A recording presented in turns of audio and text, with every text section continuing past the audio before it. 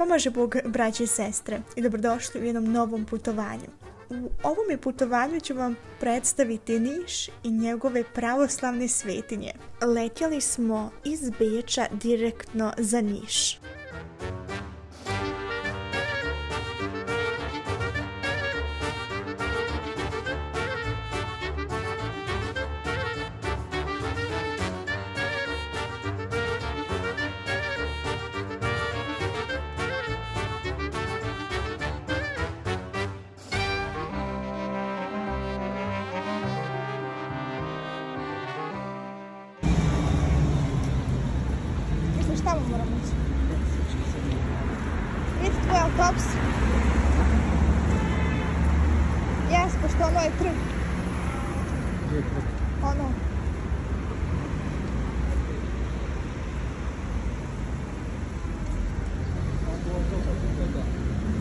Nakon što smo se smjestili u hotelu smo otišli da se informišemo u vezi iznajmljivanja auta, pa smo se kasnije prošetali do trga Kralja Milana.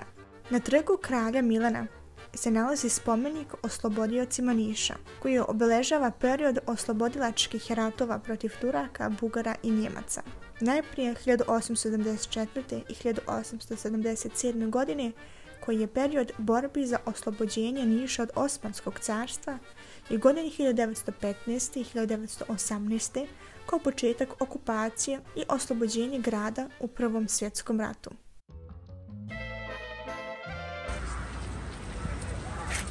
Hoću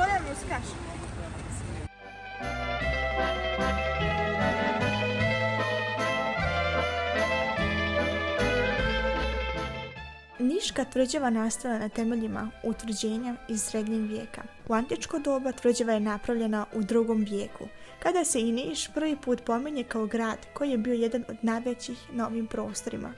stotine godina nakon izgradnje tvrđave Niš postoje carski štab gdje je car Konstantin sagradio svoj dvorac. Mnogo puta je rušena i obnovljena, zidana i dozidana, pa opet renovirana. Vojska Turske je početkom 18. vijeka dala tvrđavi izgled koji ima danas. Unutrašnjost Niške tvrđave nije sačuvana, ali kulturna dobra oko nje jesu. Lapidarium je zbirka kamenih artefakata iz antičkog doba, otkrivenih na teritoriji tvrđave, okoline Niša i Knjaževca. To su grobni zavetni građevinski spomenici i dvije mermirne figure.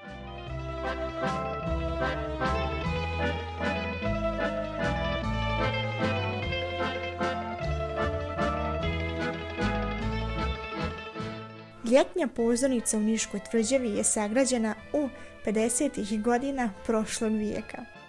Nakon Niške tvrđave smo se prošetali kroz centar do Saborne crkve. Saborni hram u Nišu je posvećen Svetoj Trojici. Izgradnja crkve je započeta u 19. vijeku. Samo izgradnji hrama prethodio je Parijski mir 1856. godine, kojima je Turska priznala ravnopravnost muslimana i hrišćana, što je praktično značilo i da se dozvoljava zidanje novih i obnova starih crkava. Način na koji je crkva građana prouzrokovao je puno problema, pa je hram samo 20 godina nakon izgradnje morao biti popravljan više puta. Tokom bombardovanja 1944. godine od strane Njemaca hram je teško oštećen, ali je ubrzo saniran. 2001. godine hram je izgorio u požaru, ali ubrzo nakon požara se pokrenula obnova hrama.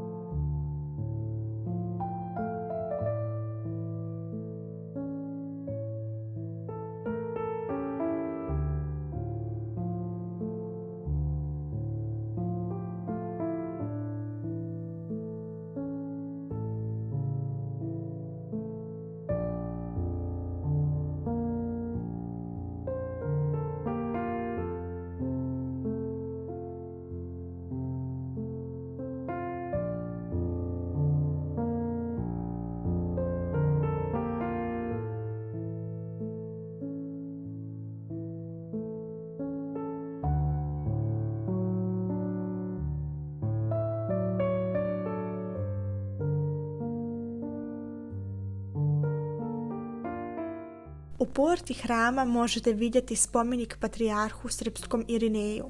Da li ste znali da je on prije nego što je postao patrijarh bio episkop Niški? Crkva svetih arhangela se nalazi direkt pored sabornog hrama. Poznat je i kao mali saborni hram jer je prije nego što je osveštana velika saborna crkva upravo ona bila prvi saborni hram eparhije Niške. Ikonostas je sastavljen od 72 ikone. Crkva je građena početkom 18. vijeka. Kroz istoriju je više puta renovirana i obnovljena.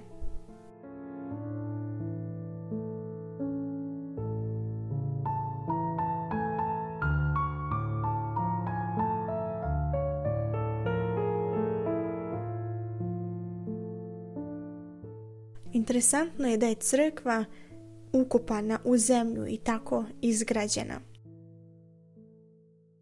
Sljedećeg jutra smo otišli po auto i krenuli ka manastiru Đunis.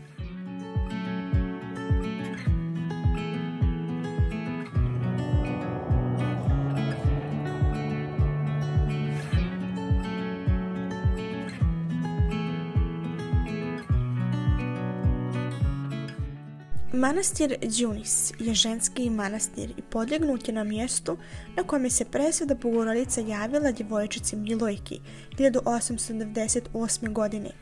Djevojčica imala je 13 godina i radila je u polju sa svojim sestrama.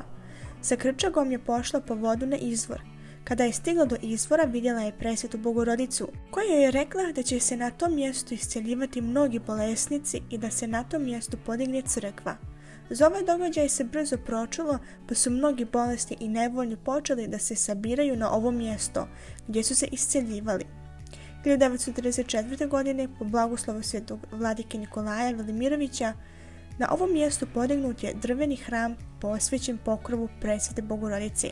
U 70. godina prošlog vijeka je započeta izgradnja velikog hrama.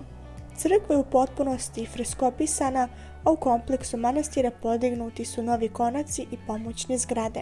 Krajem 90. godina prošlog vijeka porušena je drvena crkva Brvnara da se na njenom mjestu podigne nova crkva od čvrstog materijala. 1964. godine je ovo mjesto pretvoreno u manastir i prvobitno je bio muški manastir dok četiri godine kasnije nije preobražen u ženski manastir. Na dan pokrova presvete Bogorodice u manastiru održava se veliki sabor, na koji dolazi hiljade ljudi. Na izvoru se služi akata iz presvete Bogorodici, a u hramu sveta liturgija.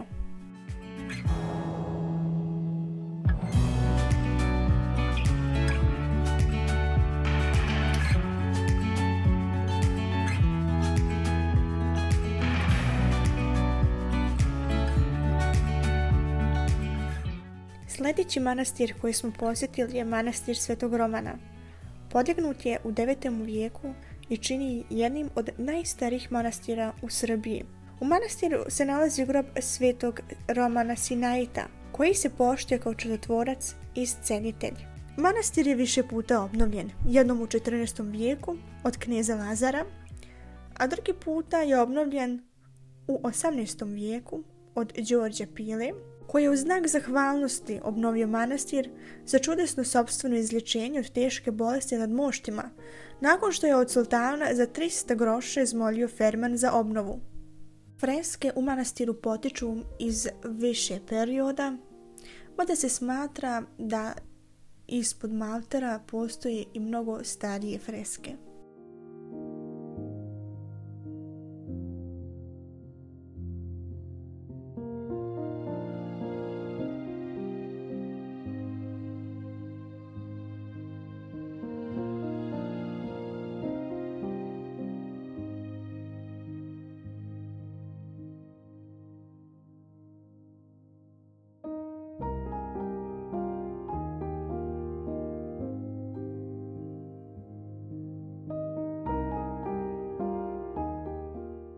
Manastirskoj porti nalazi se veliki zvonik, podignut u 19. vijeku. Zvonik je visok oko 12 metara i predstavlja jedinstvenu građevinu. Sazidana je od kamena u tri nivoa. Na zvoniku se nalazi tri zvona, od kojih je jedno poklon knjeza Miloša Obrenovića iz 19. vijeka. U njemu je u srednjem vijeku osnovana bolnica za liječenje duševnih bolesnika koja je radila do kraja drugog svjetskog rata. Nakon drugog svjetskog rata manastiru je oduzeta skoro sva imovina, ali je imovina mogla biti povraćena od strane episkopa Niškog Jovana. Tada je manastir pretvoren u ženski, a 2012. godine je ponovo pretvoren u muški manastir.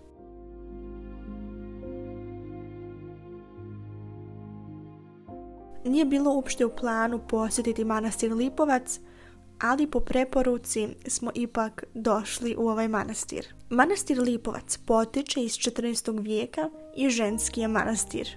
Nalazi se na jednom interesantnom mjestu ispod stijene Leskovik. Nedaleko od ovog hrama, krajem 14. vijeka, podvizavao se prepodobni German Sinait. Na portalu iznad ulaznih vrata u Naos ostalo je zabeleženo da je prepodobni German 1399. godine pridvornoj crkvi dogradio i naslikao pripratu i na ovom mjestu osnovao manastir po opštežiteljnim ustavu svijetih otaca pravoslavne crkve.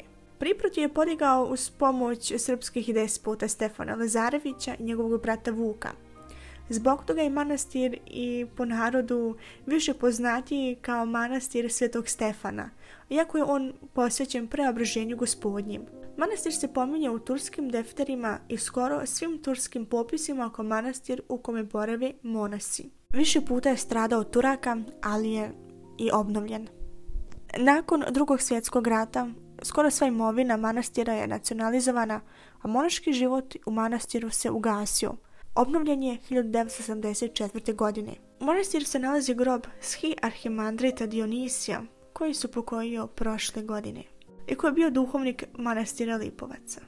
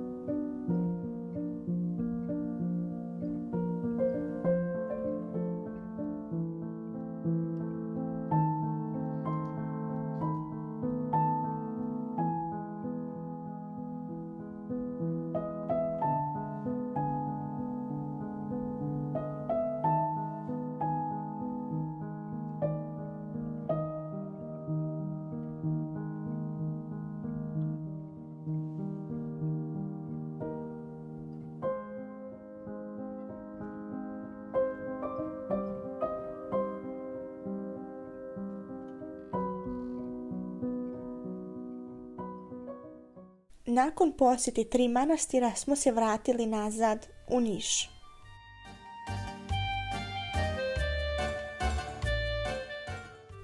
Sljedećeg dana smo krenuli ka Pirotu, gdje ćemo prvo da posjetimo manastir Temsku.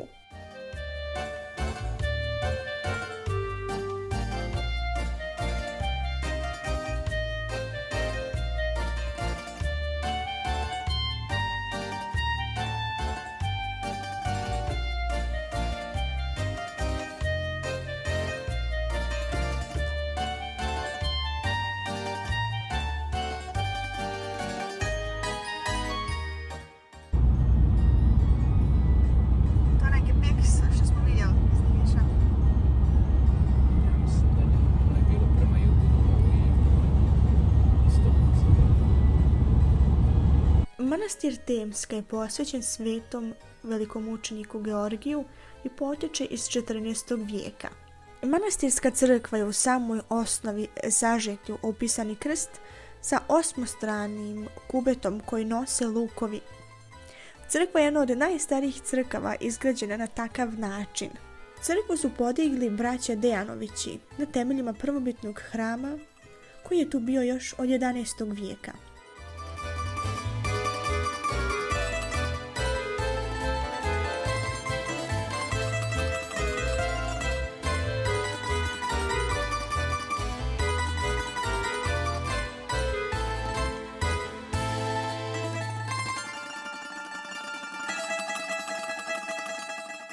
Nakon oktobarske revolucije u manastir stižu oko 40 ruskinja i od tog momenta manastir postaje ženski i ostaje do dan danas tako.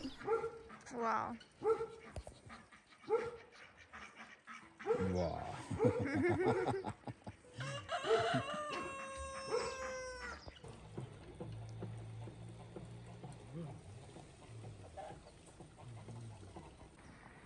Dobar dan. Dobar dan. Kažu da su brze. Sve. Lijepi su. Konji isto baš? ovce, koze, krave, Sve što treba. živine vidite ima sve i svašta. Dosadno vam nije. Nikad. Ima dosta posla, ali nikad nije dosta.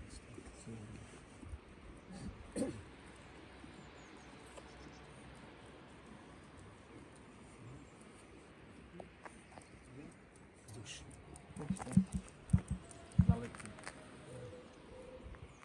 I sad će to se prviti sigurno, mi već imamo šest sigurno. Aj! Biće problem. Neću volim. Ne interesuje. Ja ću da štupam, vidim.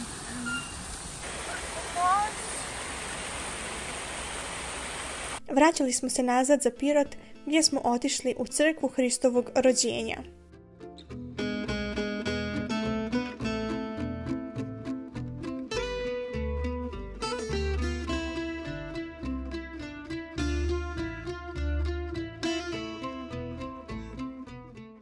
Crkva rođenja Hristovog u Pirotu je sagrađena u 19. vijeku. U to doba pravoslavni hram nije smio biti više od turske džamije i da bi se ispoštovala odluka sultana, temelje same crkve trebalo ukopati u zemlju. Zbog toga moraš isići nekoliko stepenica da bi ušao u crkvu. Unutrašnjost crkve je veoma fino uređena. Pogotovo ikonostas sa starim ikonama mi se mnogo dopao. Svidjelo mi se da ljudi kada prolaze pored crkve stanu ili uđu u crkvenu portu, prekrste se i krenu dalje svojim putem. Imala sam i mogućnost da se upoznam s jednom prijateljicom sa kojom sam dugo godina u prijateljstvu preko Instagrama. Sljedeći manastir koji smo posjetili je bio manastir Sukovo, koji potiče iz 15. vijeka i koji je posvećen uspenju presvete Bogorodice. Po predanju imanje manastirsko je pripadalo Turčinu Sali Begu iz Pirota. Sretne on dječaka koji nešto kopaše na njegovom imanju. Dječak je govorio da mu se presta Bogorodica javila i naredila mu da na tom mjestu otkopa manastir. Mještani su mu pomogli i našli su na kandilo i ikonu što je ukazalo da je tu bio hram. Sin od Turčina poče da oskrenavi sveto mjesto i u momentu mu se oduze tijelo i izgubi pamet. Roditelji tražiše od sveštenika pomoći kada on pročita molitvu njihovom sinu biješe lakše. A nakon što se Salibik pokloni ovom svetom mjestu i poljubi dječaka koji je imao to viđenje, njegov sin potpuno ozdravi. Beg je odlučio da pomogne u izgradnji crkve i tako su ponovo sagradili ovu crkvu.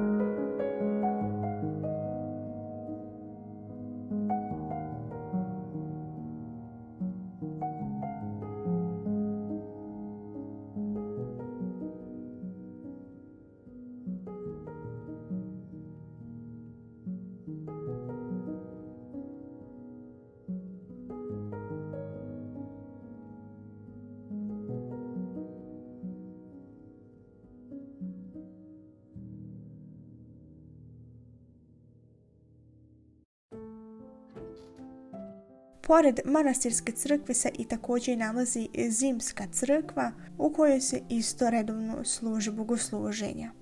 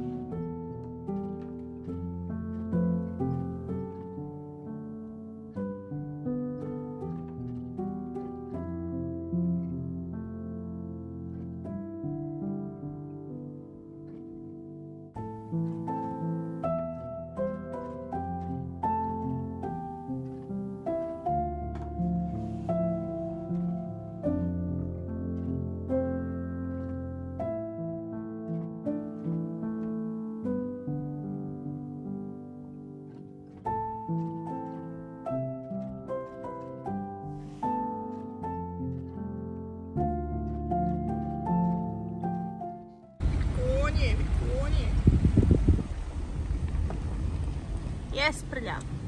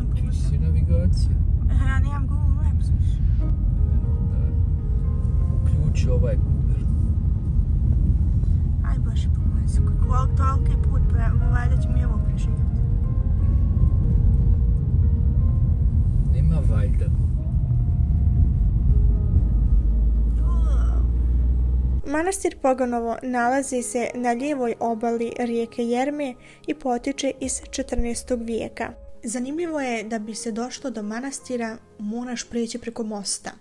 Mi smo vidjeli da postoji dva mosta do manastira. Ovaj manastir je jedan od rijetkih manastira koji je posvećen Svetom Jovanu Bogoslovu. Podignut je kao zadužbina srpskog plemića Konstantina Dejanovića, Dragaša i njegove supruge Jelene. Konstantin Dejanović bio je sestrić cara Dušana i velmoža koji je upravljao dijelovima današnje Makedonije, jugoistočne Srbije i jugozapadne Bugarske. Zbog same lokacije manastira i teške pristupačnosti, manastir nikad nije pustošen. Do 1927. godine nije postojao ni jedan prohodni put do manastira, jer je kanjon rijeke Jerme u potpunosti bio neprohodan. I upravo zahvaljujući tome, manastir je u potpunosti zadržao autentičan izgled.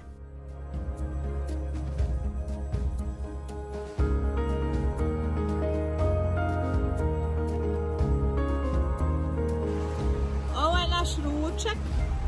I za manastir. A šta je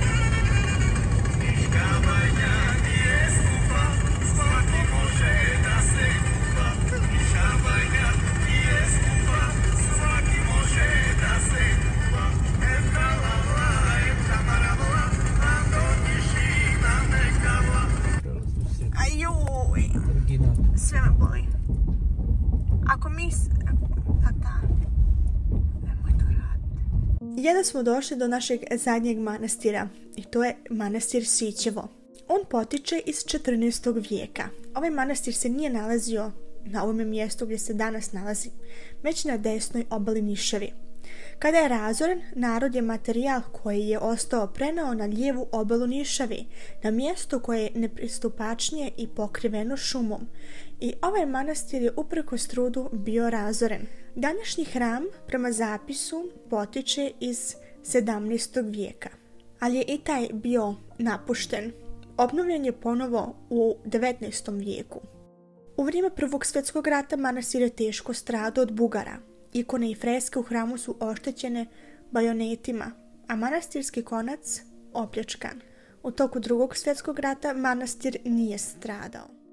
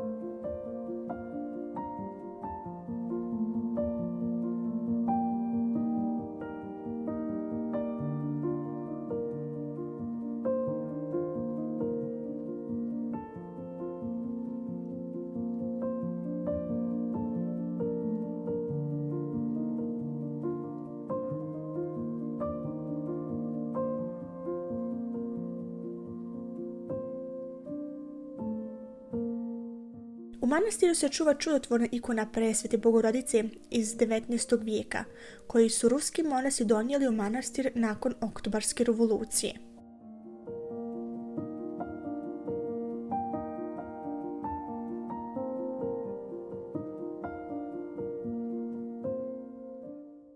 I na kraju dana smo otišli i do Niške banje, gdje smo se prošetali kroz park.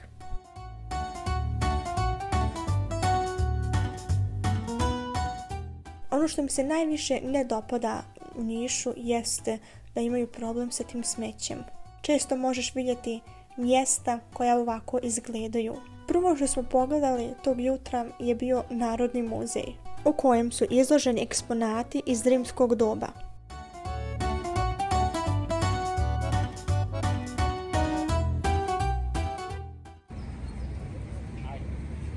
Hoćeš duska?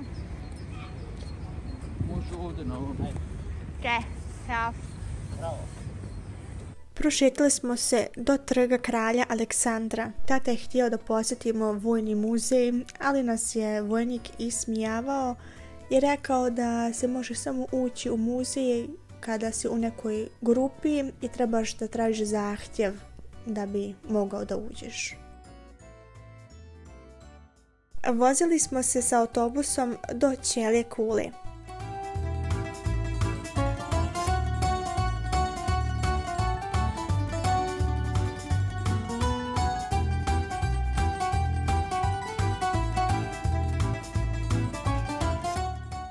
Bilo mi je veoma zanimljivo vidjeti konduktora u autobusu koji naplaćuje karte.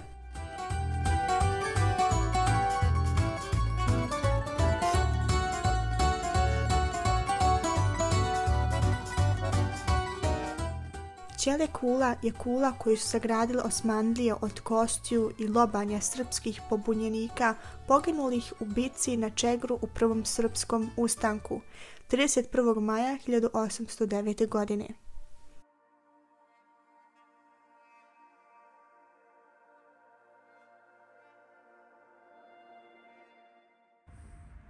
Po predanju.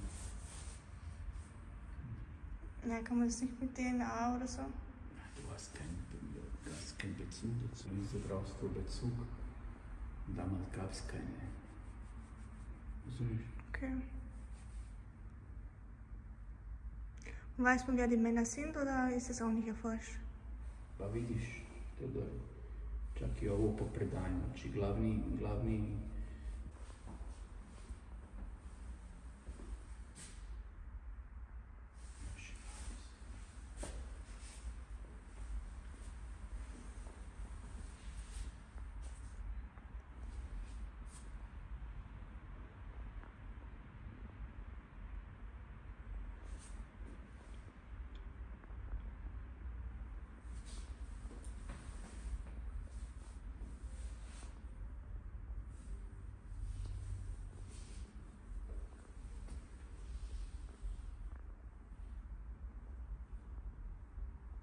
Das ist nicht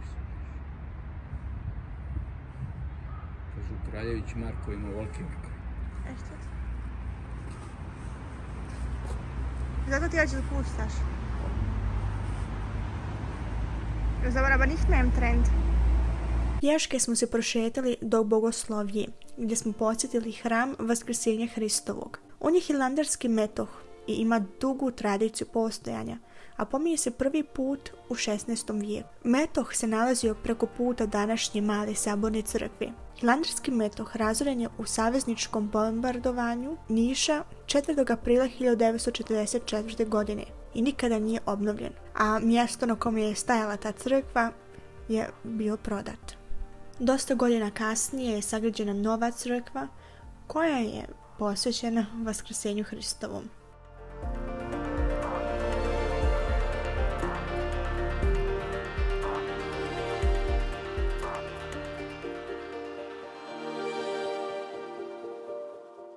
Ispod bogoslovije se nalazi ova malena kapela.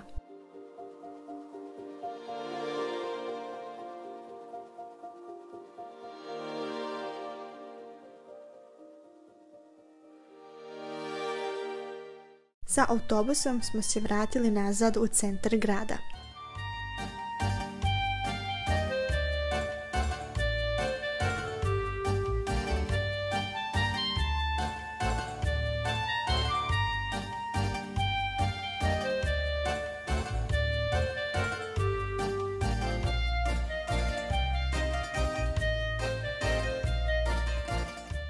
Uveče smo otišli na večernju službu koja je trajala dobrih dva sata.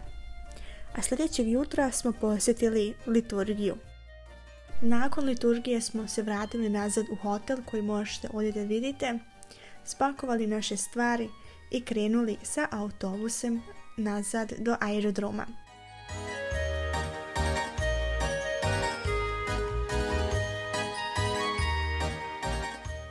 I tako se završava ovo moje putovanje u Niš i u Nišku eparhiju.